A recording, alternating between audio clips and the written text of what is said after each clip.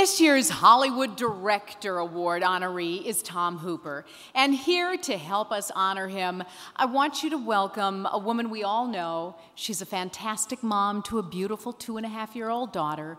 She is an Academy Award winner. She is kind hearted and kind and immensely talented. Would you please welcome Halle Berry?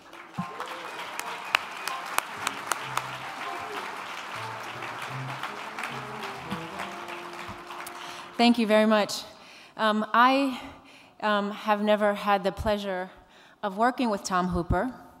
However, I've talked to him tonight, and um, I hope that someday I get the chance to do that because I'm a huge fan of his work. And when I got asked to be here tonight to present him with this award, it was no question, no doubt in my mind that I would be here.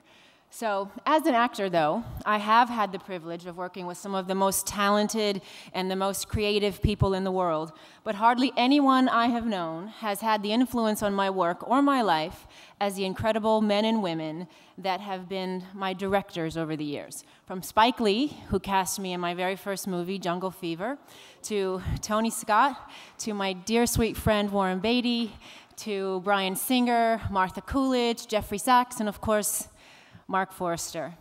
I've gained the experience and knowledge for which I am extremely grateful and very proud from knowing all of those wonderful artists.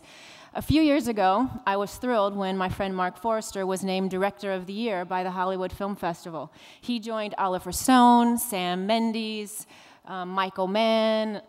All these filmmakers have an incredible body of work, along with more recent winners like Clint Eastwood and Kathleen Bigelow.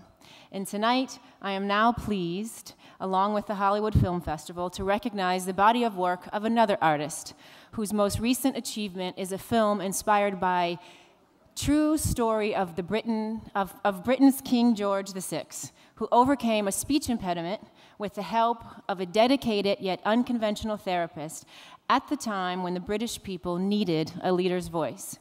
He directed critically acclaimed film The Damned United, as well as Red Dust, starring Hilary Swank, and Longford, starring Jim Broadbent, as well as John Adams for HBO. Ladies and gentlemen, the 2010 Hollywood Director Award recipient is Tom Hooper. It is my great pleasure to give you tonight, Tom, the Hollywood Director Award. Everybody, Tom Hooper.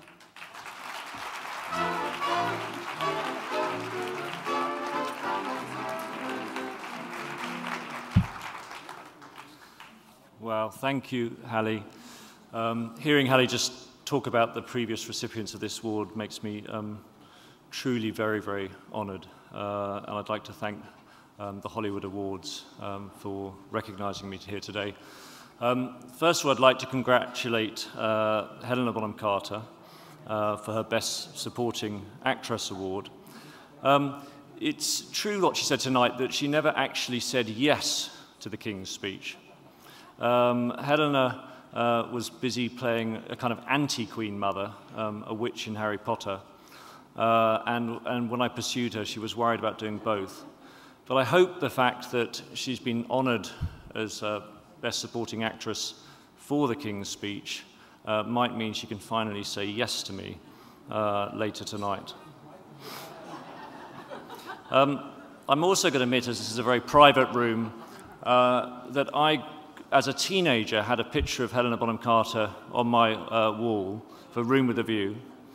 Um, but, I can, but I also have to confess that the uh, picture of Helena was dwarfed by the Panavision Platinum camera uh, that was above her in this advert for Panavision uh, growing up. Um, uh, so I, have long dreamed of working for Helena, with, with Helena since I was a, uh, a kid, so I'm really pleased to see her on tonight.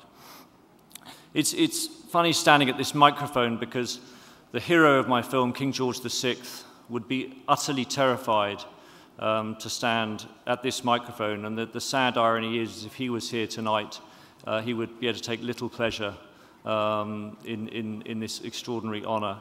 Um, and I'm incredibly grateful to Colin Firth for so brilliantly capturing the fear of living with a stammer um, in every frame of my, of, of my film. Um, Colin is ferociously clever, ferociously talented, um, a wonderful collaborator, Um, and it was really one of the great experiences of my life um, to work with him. It's, um, however, Colin is also one of the great uh, raconteurs and anecdote tellers of all the actors I've ever worked with. In fact, I had to impose on Colin a two minute anecdote rule during rehearsal, strict. And in the shoot, a 30 second anecdote rule, uh, equally strict. Uh, and so the irony is not lost on me that, um, uh, of all people, Colin plays so brilliantly the man who cannot speak. Um, I would also like to, to thank Geoffrey for so brilliantly playing the character who uh, gets Colin through his fear of public speaking. Um, and most of all, I'd like to thank the writer David Seidler. David was a little boy um, during the Second World War, and David used to listen to King George VI on the radio and think, well, if the King of England can get over a stammer, uh, maybe there's hope for me. So David's childhood hero, his inspiration, his guiding light was King George VI. And the realization of this movie is the realization of a, of a childhood dream um, for David. Uh, and, and uh, many of our lives reach back into the Second World War. My father lost his father in the war and as a result was sent to boarding school from the age of five. And one of the um, themes of my childhood was my Australian mother uh, unpacking some of the effects of that upbringing. Um, and so, really, this film is a very personal film for me because it, it, tells of an Australian unpacking an English king, and it's just there's a thing or, or two I know about that from my childhood. Um, I'd also like to acknowledge my producers, particularly Iain Canning, who's here tonight for his wonderful work on the movie, uh, for my entire um, wonderful cast and crew, uh, the Weinstein Company, particularly Harvey Weinstein, who came in so early in his support of the film. Um, as it's such a personal movie, winning this award means uh, a great deal, um, and I'm incredibly grateful um, to the Hollywood Awards. Um, it's a, a great honor. Thank you very much.